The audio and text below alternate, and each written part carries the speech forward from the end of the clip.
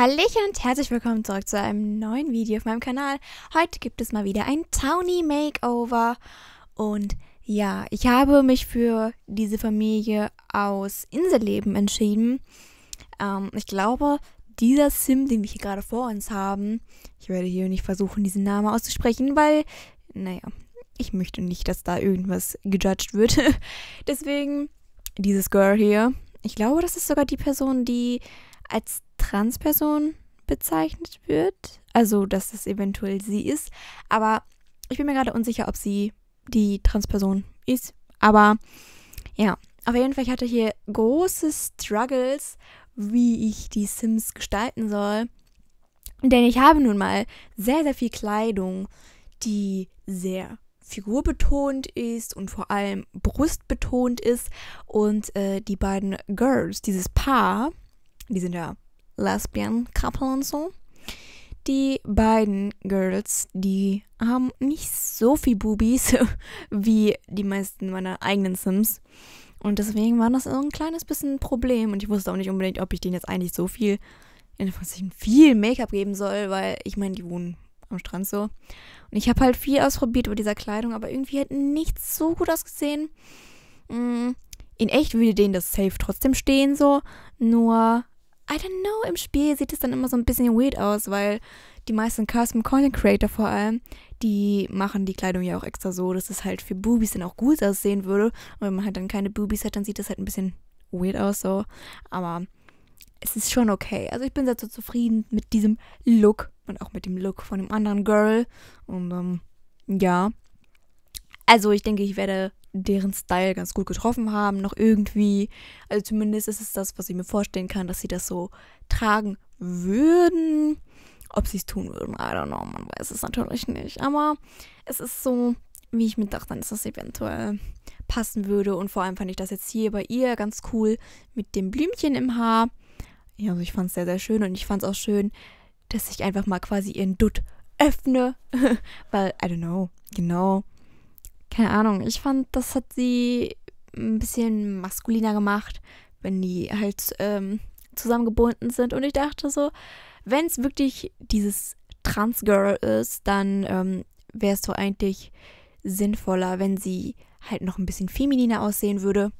Und äh, das habe ich jetzt halt damit entschieden. Ja. Und bei ihr wusste ich halt auch irgendwie gar nicht, was ich genau machen wollte weil, I don't know, es gab so viel, was irgendwie schon so gepasst hätte und was eigentlich cute aussah, aber irgendwie war es so nicht so das, was ich dann irgendwie doch wollte und deswegen, äh, ja. Ich meine, letztendlich hatte ich was ganz Cutes gefunden, aber ja. Also ich war auch immer überlegen, ob ich einfach den Zaff auf die andere Seite packen sollte, aber irgendwie wäre das ein bisschen sehr langweilig gewesen. Deswegen dachte ich so, okay, girl, wir machen das nicht so. ja. Und ähm, ich habe mir nicht so viel angeguckt von der Familie, aber wenn es wirklich dieses Trans, also ich weiß ja nicht, ob es das Trans-Girl ist, also ne, aber auf jeden Fall das Girl, was so ein bisschen maskuliner aussieht, die hat ja ein Kind. So, und dieses Kind, ich habe ja viel neues Zeug für Kinder und Kleinkinder runtergeladen, das äh, auch für die 100 Baby Challenge, damit nicht alle Kinder gleich aussehen. Und ähm, ich konnte, glaube ich, ganz gut Sachen dafür nutzen. Ich bin ganz froh darüber. Äh, das, das werdet ihr dann gleich sehen so.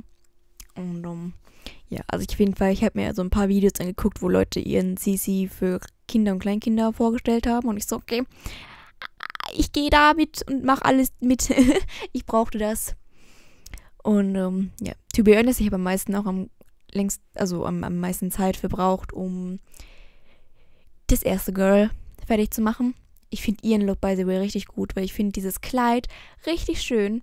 Also das ist vielleicht sogar eines meiner Lieblingsteile von Trilik. Trilik heißt, heißt sie so? Ich weiß nicht, ob man das so ausspricht.